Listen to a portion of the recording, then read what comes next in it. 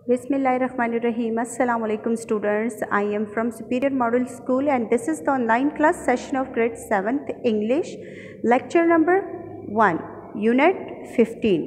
आज हमारा जो लेक्चर है we will going to start our lecture from unit number 15 it's on page number 140 page number 140 stuck by an iceberg. Stuck by an iceberg barf ke tode se atak students uh, first of all i will introduce the chapter to you that it's a kind of a story or uh, an incident that had uh, happened in uh, the earlier decades. A titanic ship as you are familiar with the name a titanic ship was uh, destroyed in an ocean and this is the summary this is the whole summary of the that story or a chapter. So that is the stuck by an iceberg barf ke tode se atak. So here are some difficult words which we are going to read in our first para. There is the difficult words are sailed safar karna. Sailed safar karna. Steamship jahaz. Catastrophic catastrophic kayamat khaz plunging jhonkna disaster afat, demise, intiqal. Students, you are advised to learn these difficult words which are we are going to learn in our uh, chapter when we are going to start it. So here are the uh, difficult words. Let's come and start our reading. Okay, chapter number 15 stuck by an iceberg. Now going to start the reading. A century has sailed by since the luxury steamship Titanic एक पूरा, एक पूरी सदी गुजर चुकी है जब एक लग्जरी एक बहुत ही खूबसूरत जहाज़ टाइटैनिक में लोग सफ़र करते थे। सफ़र करते थे सेल्ट सफ़र करते थे। Built and owned by White Star Line White Star Line line जो है उन्होंने इस चीज़ को बनाया था और उसने उस इसके जो थे तो ऑनर थे। Owned by White Star Line इन्होंने इसे बनाया था। Met its catastrophic end in the North Atlantic plunging two miles to the ocean floor 500 miles southeast of Newfound, Newfoundland after sideswiping an iceberg during its maiden voyage. Okay, कहते हैं कि एक सदी गुजरी है कि एक लोग सफ़र करते थे एक बहुत ही शानदार लग्जरी शानदार जहाज़ में, जिसका नाम क्या था? टाइटैनिक था। उसको बनाया था वाइट स्टार लाइन ने।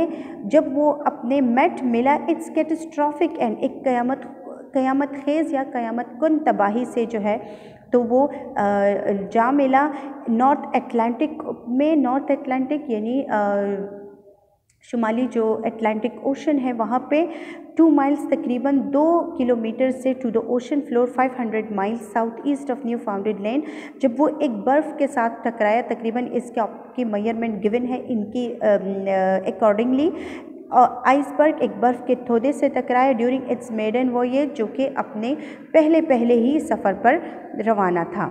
This is in pictures you can see the Titanic ship it's a kind of ocean ship जो कि आप लोगों, इससे फेमिलियर होंगे, आप लोगों ने इसको देखा होगा। Rather than the intended port of New York, a deep sea grave became the pride of the White Star Line's final destination in the early hours of 15, April 15, 1912. rather than the intended port of New York इसके अलावा जो New York का गैर इरादती तौर पर a deep sea grave become the pride of the White Star Line's final destination ये जो है तकरीबन 15 अप्रैल 1912 को उनका जो गरूर था या फिर जो उसके लाइफ थी टिटैनिक की, वो बिल्कुल ख़त्म हो गई वाइट स्टार लाइन्स का आखिरी मंजिल फाइनल डेस्टिनेशन आखिरी मंजिल थी। More than fifteen hundred people lost their life in the disaster तकरीबन पंद्रह सौ से ज़्यादा लोगों ने अपनी जानें जो थी, वो इस आफत में गंवा दी। इवन आफ्टर द डिकेट्स तकरीबन बहुत सारी दहाइयों के बाद सिंस हर डिमाइस उनके इंतकाल के बाद तकरीबन काफ़ी दहाइयों के बाद उनके इंतकाल के Titanic has inspired countless books and several notable films while continuing to make headlines, particularly since the 1885 discovery of a resting place off the coast of Newfoundland. तकरीबन टाइटैनिक ने बहुत सारी ऐसी किताबें लिखी गई हैं। सेवरल नोटेबल फिल्म्स उस पर फिल्म्स बनाई गई हैं जो कि इस चीज़ को हाईलाइट करते हैं ख़ास तौर पर 1985 में जो उस, जहाँ पे ये तबाह हुई थी न्यू फाउंडलैंड के साहिल पर, वहाँ पे बहुत ज़्यादा जो है तो इसकी दरियाफ्त शुदा चीज़ें जो हैं तो वो मिल चुकी थी। Meanwhile her story has entered the public consciousness इसकी जो कहानी है, ये तकरीबन लोगों में शूर पैदा कर रही है as a powerful cautionary tale about the perils of human habits के, कि किस तरीके से एक मुसल एक इंसानी ईमान को एक ख़तरा लाक हो चुका था। एक, आपको एक इंतबाही स्टोरी जो है तो वो भी बता रहे हैं और ये वाली स्टोरी में जो है तो हमारे पास ये सब चीज़ें मौजूद है। Cautionary this is called cautionary इंतबा consciousness शूर कॉन्शियसनेस शूर ठीक है? हैब्रिस ईमान दीदा देखिए पैरल्स ख़तरों.